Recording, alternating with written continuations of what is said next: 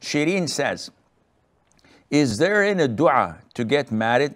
I'm getting old, 28 years of age, and no proposal is being finalized. I feel really sad, not only for me, but also for my parents, as they are getting old and always worried about me. Shireen, people have different tests in this life. You have a test. Someone else may be tested with breast cancer. May Allah protect us all. Others may be tested in their security, where there are demonstrations and oppression from the government and killing and looting.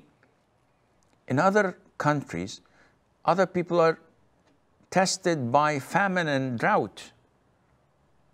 And in other countries, they're tested by poverty and being unable to find a good job. In other places, people are tested and oppressed due to their religion. They cannot go and pray. They cannot wear the hijab. Men cannot grow their beards. They're put in concentration camps, like the Nazis. They're oppressing them just simply because they say, My Lord is Allah. So, we on this earth are created to worship Allah Azza wa Jal. And part of worshiping Allah subhanahu wa ta'ala is to be patient and tolerant to His testing. So Allah is testing us who will do well. Your test is in your marriage.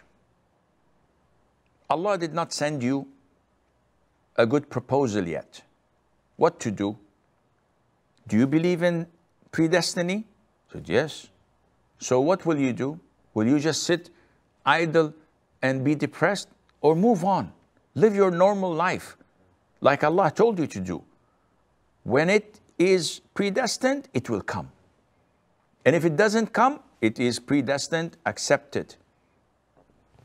Your journey ends when you die, and this is going to happen in few decades, maybe less.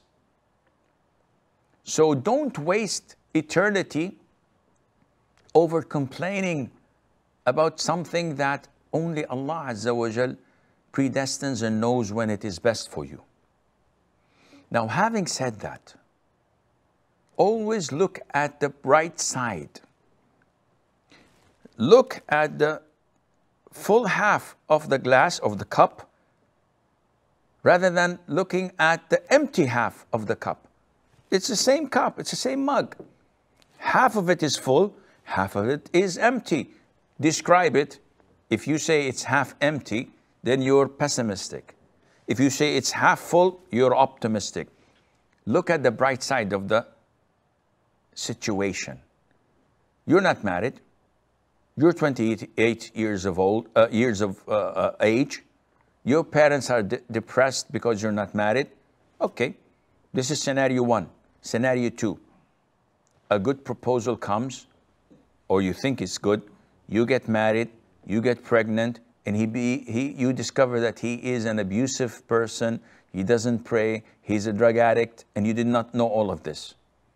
After a year or two of being tortured, you're divorced. You go back home with a kid or two to your parents what is best?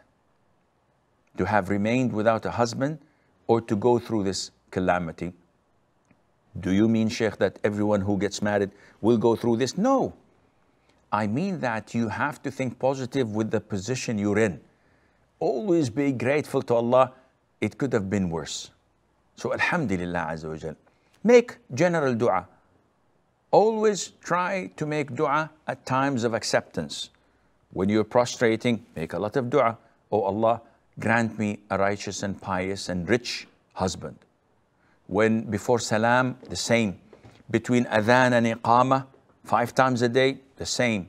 When it rains, the same. When it is the last third of the night, the same. All of this is going your way. So you try your level best to make dua to Allah Azza wa Jal and Allah subhanahu wa ta'ala, whenever it is best for you, He will make this happen and Allah Azza wa Jal knows best.